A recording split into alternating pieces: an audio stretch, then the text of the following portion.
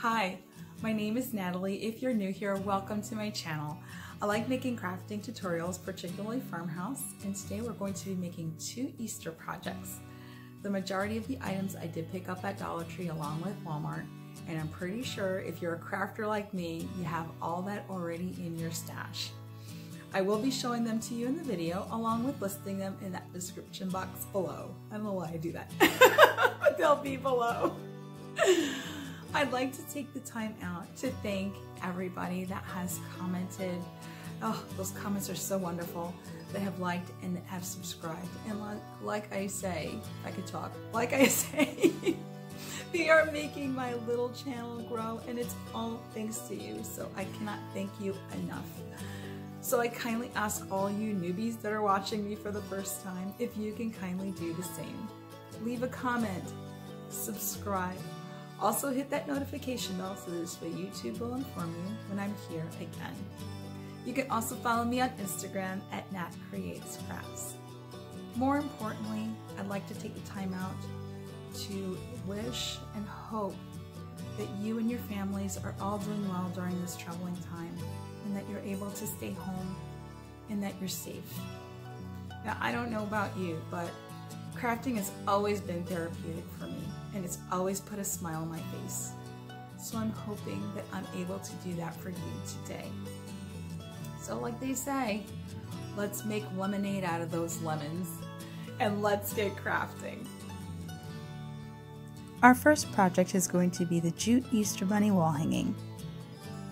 You're going to need one Easter Bunny wall decor, jute cord, lace beige wired burlap ribbon, one flower pick color of your choice, but I'm guessing you guys know what color I'm going to be using. Glue gun, glue sticks, scissors, and cutting pliers.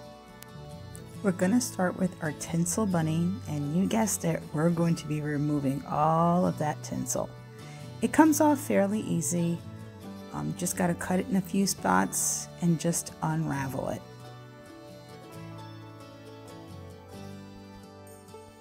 It's amazing how much tinsel is on that one Easter bunny. Once you're done removing all the tinsel, it has these little bumps that we're going to take our cutting pliers with and just nip them right off. Make sure you get all of the little nubs off, including the ones that are on the inside, but they cut off fairly easy with the pliers. Now that our Easter Bunny is all debumped, we're going to take a piece of the jute cord and we're going to start wrapping the belly of the bunny. I put a little bit of hot glue right on the top and then I adhere the rope right to the top of it and then we're going to thread it through the frame. We're going to add a little bit of hot glue to either side of the frame. For the first three or four rows, then once you get past that one brace, you can just start wrapping it until you get to the other brace and then you can continue to glue it. But at this point, you really don't need any glue. You're going to wrap the whole belly of your little bunny. And then once you're done with that, you're going to start weaving through the entire frame of your bunny. Now, this would probably be a good time for you to like sit in front of the TV, watch your Netflix while you're doing this because it is a little time consuming, but to me, it's like sewing or crocheting for that matter. You just have to add some glue once your jute is at its end. So I usually use smaller pieces of jute. Like I said in the past, it just makes it that much easier to manage and to weave through. I also do glue, put a little bit of hot glue at the end of the jute, so this way it does make it easier to thread through, especially in the tighter piece, uh, tighter corners rather. As you can see, you don't need any hot glue for this at all. You just need to hold the weave with one hand while you're threading the jute with the other. You're only going to need the hot glue to anchor the beginning of the jute and the end of the jute. This little bunny took me about a half an hour to weave. Not too bad, and it was very therapeutic. Now we're going to form a basket for our bunny using a 6 inch piece of the wired ribbon. You're going to form it into a cone. Then you're going to flip the cone to the back. Going to add a little bit of hot glue to the end of the ribbon and secure it. Once the glue is dry, we're going to cut across the top edge. Then we're going to glue the back of our little cone basket and then we're going to adhere it to the bottom of our bunny. Now we're going to take three sprigs of any flower of your choosing. Of course, you know which one I took. I took the greenery off the middle stem and then I glued the other two pieces with the greenery and then just put the greenery in the center. It's just the way I liked how the flowers were arranged. You can use more stems if you'd like, but three were just enough for me. Now it's time to make the bow for our bunny. I used about a 12 inch piece of our ribbon, looped it, pinched it in the center, took a little bit of jute, wrapped it around about four times to create the bow, secured it in the back with some hot glue, then I cut off the excess jute, then added a little bit of glue to the back of the bow, and then secured it to the side of our little bunny's head.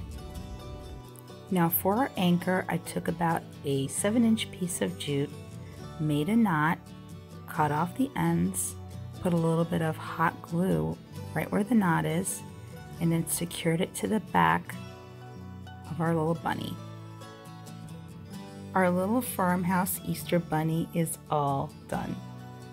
I absolutely love it, and I'm going to be hanging her right above my sink. But like I said, you can use any flowers of any color that suit your decor. But no surprise, you know which color I love the best. Our second project is going to be the Happy Easter Bunny sign. You're going to need one egg-shaped wall decor, bunny wood cutouts, the galvanized words for Easter, natural raffia, beige wired burlap ribbon, jute cord, nautical rope, Waverly chalk paint in the colors cashew, truffle, mineral, and elephant. Sorry, I don't have the picture of the elephant. Paint brushes, glue gun, glue sticks, scissors, and cutting pliers. We're going to use the back of the sign to make our project. It's just easier and it's also flat and smooth. So you're going to apply one good coat using the color cashew and make sure that your coat dries completely. Once your first coat is dry, you're going to now take the truffle and your brush and you're going to distress the egg using a dry brush technique. I just go in the shape or in the direction of the egg, but don't worry about the harsh marks because we're going to go over it again with a little bit of the cashew just to blend the streaks in and make the distress look a little softer.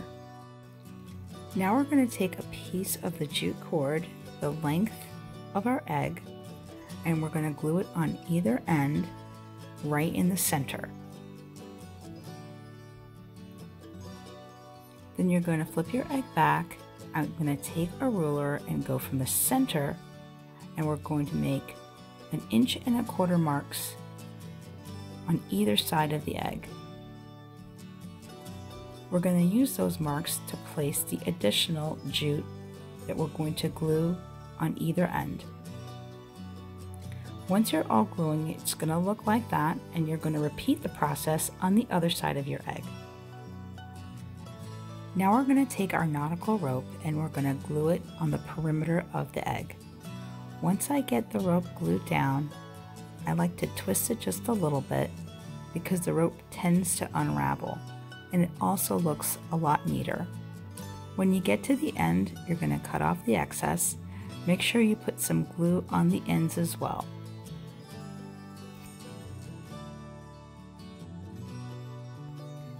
Now it's time to decorate our bunnies. We're going to use two bunny cutouts. They do have little holes on the top. I'm just going to put a little bit of hot glue in them. You could use spackle, but hot glue works just fine. Then we're going to take our elephant paint and we're going to give each bunny one good coat and let it dry completely. Now it's time for our second coat. We're going to use the color mineral, a damp paper towel, and our brush. We're going to brush a little bit of that mineral right over the bunny and then we're going to take our damp paper towel and we're going to blend the color in like you would a stain. You're going to do that for both of your little bunnies and you're going to let that completely dry.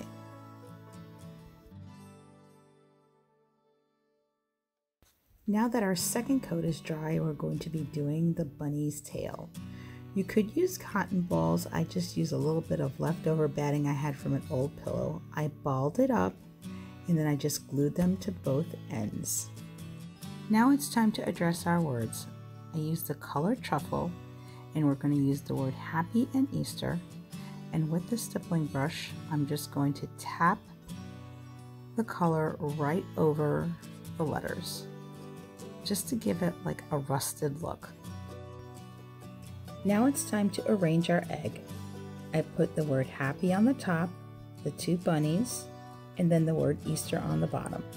Once I was happy with my placement, I then took my hot glue and just glued everything down. Just be careful when gluing those metal letters because they get pretty hot.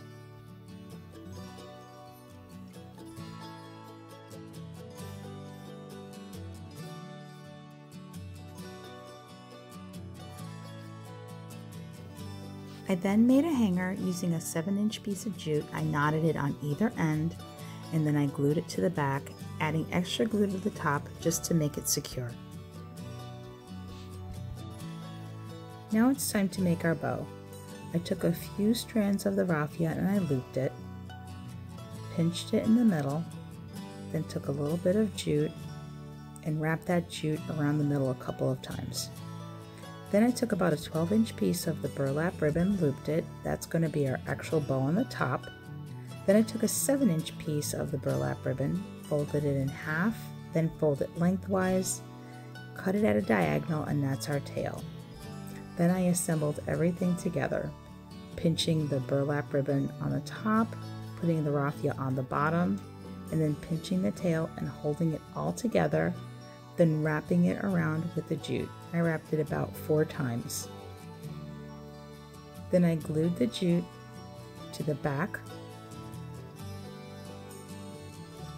secured the rope, cut off the excess, fluffed it a little bit, put some glue on the back, and then glued it right to the top of our egg, and then fluffed it a little bit more.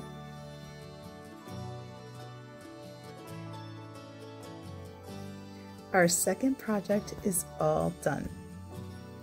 I gotta admit, I think this one is one of my favorites. It's rustic, it's farmhouse, it's neutral. But like I always say, you can always switch out the colors that suit your decor.